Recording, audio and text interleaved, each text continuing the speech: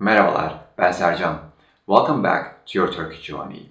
Today, I'm going to teach you how to say I need something, I don't need anything, someone needs something, do you need anything in Turkish, and the grammar concepts related to them. There are some different ways to express the need and necessity in Turkish, but today I'm going to focus on one word, and this word is ihtiyaç.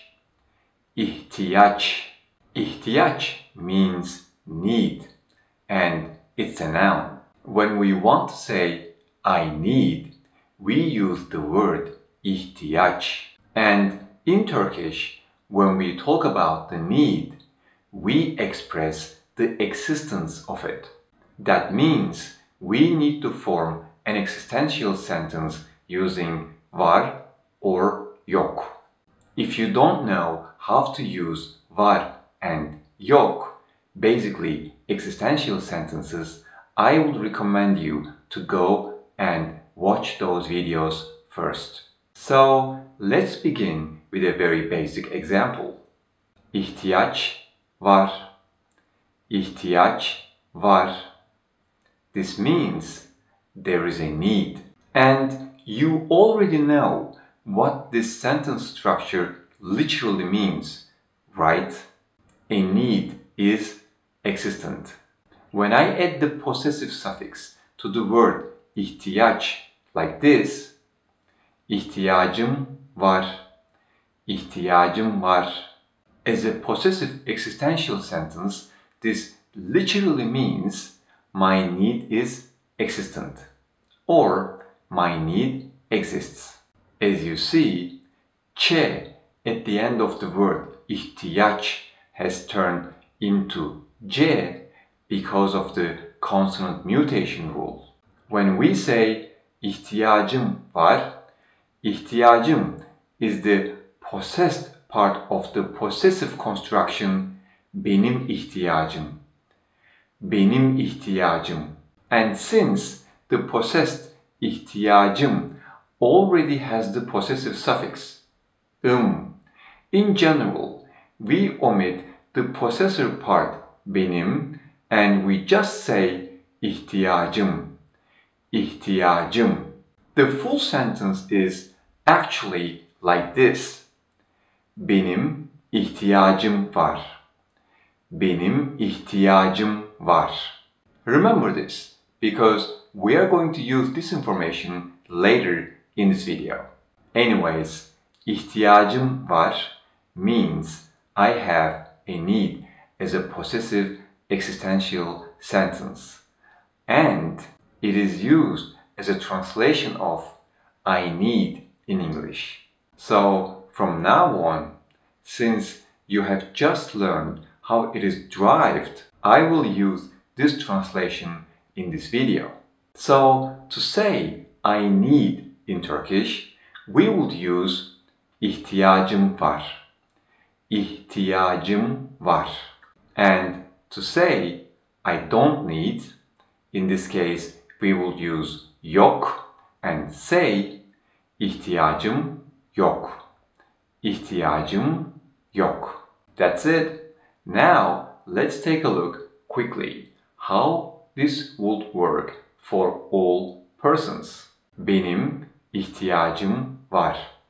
Senin ihtiyacın var. Onun ihtiyacı var. Bizim ihtiyacımız var. Sizin ihtiyacınız var.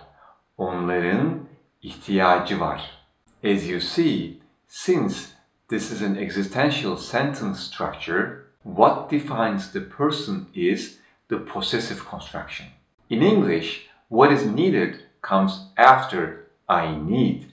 However, in Turkish, in typical sentences, you will need to place what is needed before ihtiyacım var. And the possessor part of the possessive construction stays at the beginning of the sentence if it is not omitted.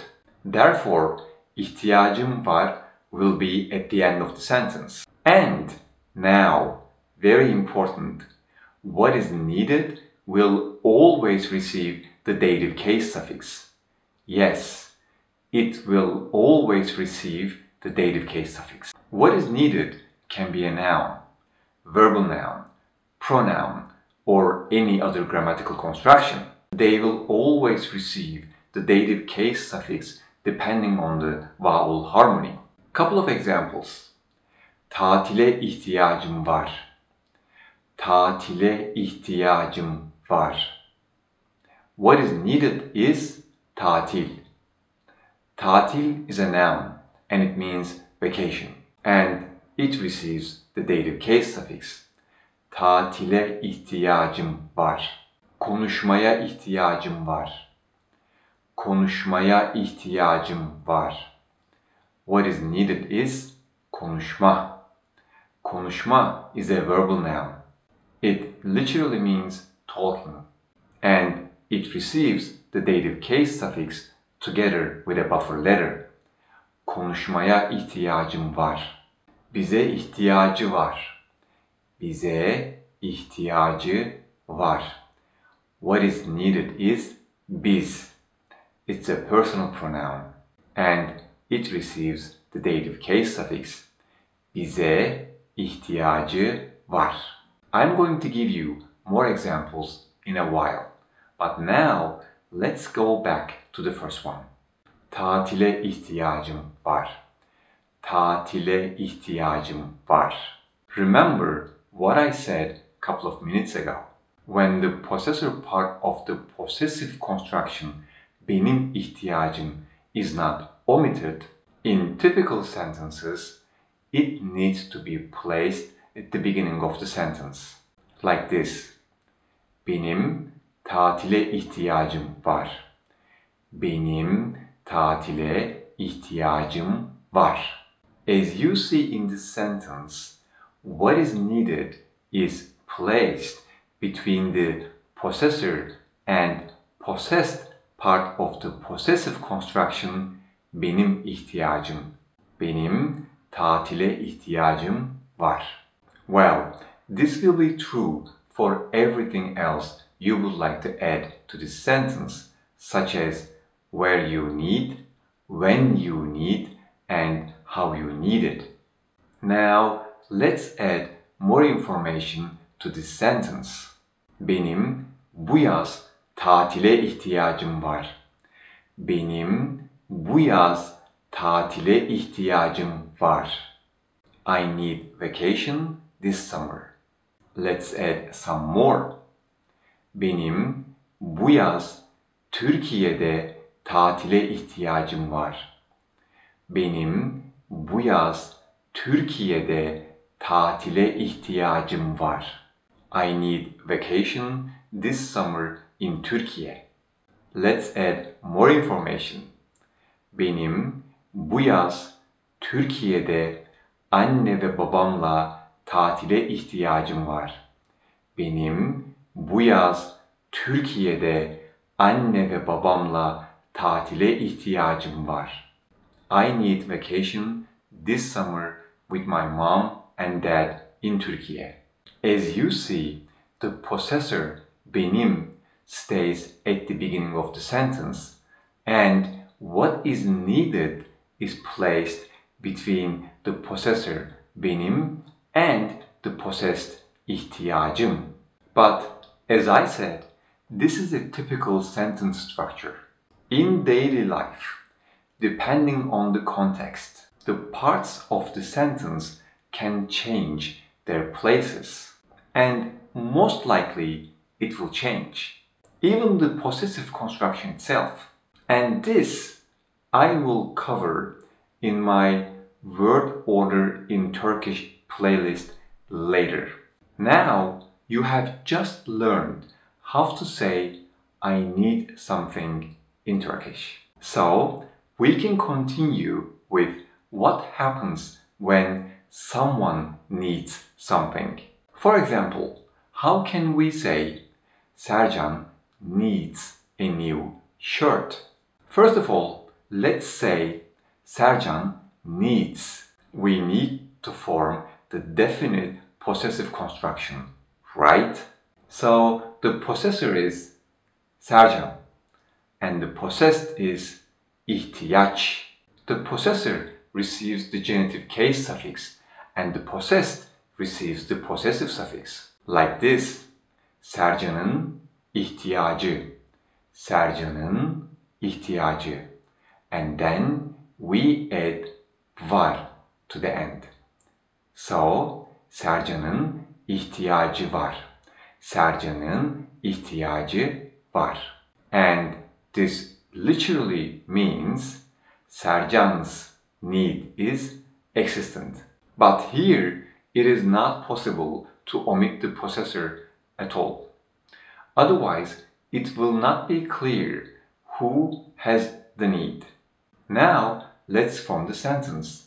Sercan needs a new shirt. A new shirt means yeni bir gömlek in Turkish. Yeni bir gömlek. And it will receive the dative case suffix and then it will be placed between Sercan'ın and ihtiyacı. So, let's do it. Sercan'ın yeni bir gömleğe ihtiyacı var. Sercan'ın yeni bir gömleğe ihtiyacı var. That's it. And in this case, how can we say Sercan doesn't need a new shirt? I hear you saying, you just need to change var with yok. Yes, this is true. So, Sercan'ın yeni bir gömleğe ihtiyacı yok. Sercan'ın yeni bir gömleğe ihtiyacı yok. Here are a couple of more examples about what you have learned so far. Zeynep'in Ankara'da bir eve ihtiyacı var.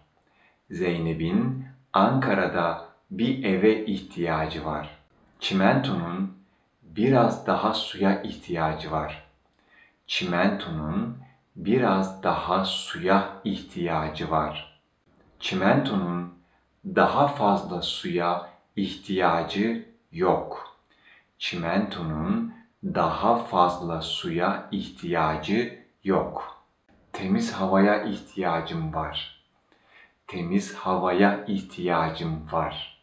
And now let's take a look at how to ask do you need anything? To do that, first let's try to say I need something. Bir şeye ihtiyacım var. Bir şeye ihtiyacım var. To form do you need anything, which is a yes no question, from this sentence, we will need to add the interrogation particle to the end of the sentence, according to the vowel harmony. And then we will need to change the possessive suffix of the word ihtiyaç for the second singular person, you. So when we do that, what we obtain is bir şeye ihtiyacın var mı? Bir şeye ihtiyacın var mı? Or you can also say senin bir şeye ihtiyacın var mı? Senin bir şeye ihtiyacın var mı? This means do you need anything? And this is an informal question. But if you want to ask it formally, then you will need to use the possessive suffix for the second plural person. Like this. Bir şeye ihtiyacınız var mı? Bir şeye ihtiyacınız var mı? Or sizin bir şeye ihtiyacınız var mı? Sizin bir şeye ihtiyacınız var mı? As an answer, you can say evet and then simply say what you need. Or if you don't need anything at all, you can say hayır, hiçbir şeye ihtiyacım yok. Hayır, hiçbir şeye ihtiyacım yok. But always remember to say thank you at the end of the sentence like this. Hayır, hiçbir şeye ihtiyacım yok. Teşekkürler. Or hayır, hiçbir şeye ihtiyacım yok. teşekkür ederim. Or, hayır, hiçbir şeye ihtiyacım yok. Çok teşekkürler. In the next video, I will teach you how to say what do you need? I need to do something. I need you to do something. And someone needs to do something. I hope you enjoyed this video. I will be waiting for your sentences in the comment section below about what you need. Thank you very much once again. See you in the next videos. Görüşmek üzere.